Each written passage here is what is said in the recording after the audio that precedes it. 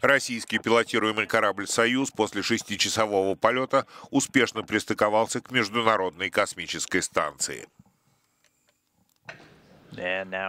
На ее борту американского астронавта Джека Фишера и россиянина Федора Юрчихина встречали космонавт Олег Новицкий, астронавт НАСА Пегги Уитсон и астронавт Европейского космического агентства француз Тома Песке.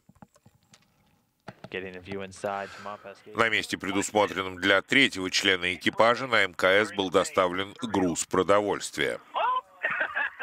Федор Юрчихин и Джек Фишер проведут в космосе 136 суток. В сентябре с ними на Землю вернется член предыдущего экипажа Пегги Уитсон. Она должна была завершить миссию в июне, но НАСА решила продлить ее пребывание в космосе.